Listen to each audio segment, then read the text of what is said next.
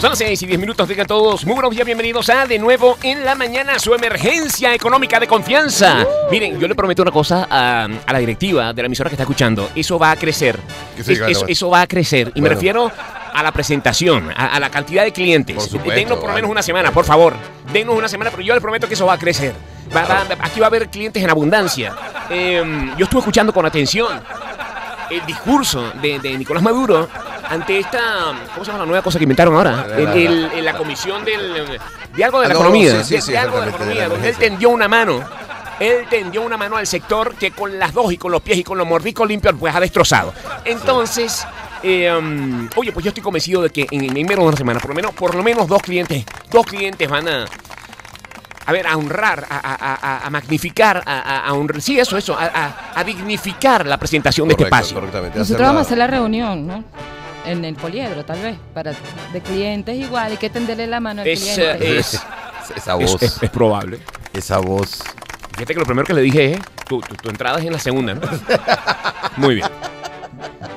Eso te va a costar mañana un- otro paté. Otro paté. Otro, mínimo. otro, otro paté. Otro paté.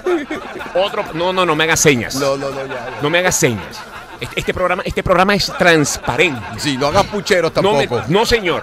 Ni recojas tus cosas. No, no, no, quédate ahí, quédate ahí, quédate. ahí, Entonces, quédate fíjense una cosa. El, el, eh, bueno, estamos encantados de estar de vuelta. Fantástico. Vale, ¿Cómo claro, estás tú, Miguel? tiempo, ¿Cómo no, muy bien, gracias a Dios. ¿Qué tu vida? ¿Qué tal tus ¿Ya vacaciones? empezaste la clase? Ya, sí, hace más de Miguel es profesor en la 11, Universidad Católica Andrés Bello. Eso es correcto, el 11, desde el 11 empecé Ajá. clases ahí, empecé, empezó otro trabajo con la gente normal, pero Claro. ya yo necesitaba en la mañana, hacía falta, necesitaba ¿verdad? la radio, por supuesto, Wow, claro, miren, tanto eh, tiempo. Es mucho- increíble, es, es- es impresionante tantas cosas que han sucedido y, y yo quiero, quiero celebrar que lo logramos Venezuela, lo logramos. ¿A qué me refiero? ¿Dónde está eso? Lo Eso- logramos. eso está- aquí está. ahí Lo logramos, Venezuela, Así lo es. logramos. Sí, mira, llegamos primero que el aumento de la gasolina, que era Por algo que a mí me supuesto. tenía profundamente preocupado, la hamburguesa de los dioses. Y nos preocupamos, y nos preocupamos. Llegamos nada. primero. No, no, no, y mira. Llegamos primero que el aumento de la gasolina. Mira que tardamos. Regresamos y les voy a explicar por una sencilla razón.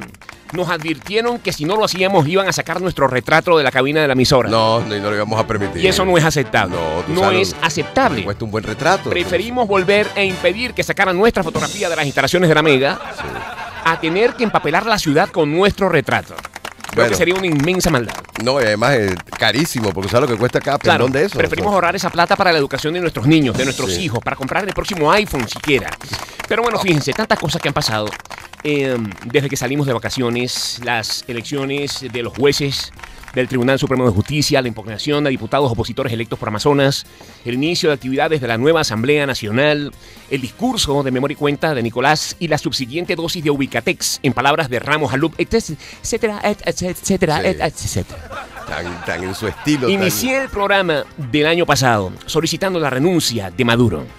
Como ciudadano tengo ese derecho. Fue una cordial invitación a cumplir el sueño de muchos, pero obviamente no me prestó atención. Hoy comienzo el primer programa de 2016 solicitando a ustedes, por supuesto me incluyo, que no renuncien a la voluntad que sumó fuerzas para que el 6 de diciembre se encendiera la luz que señala el camino.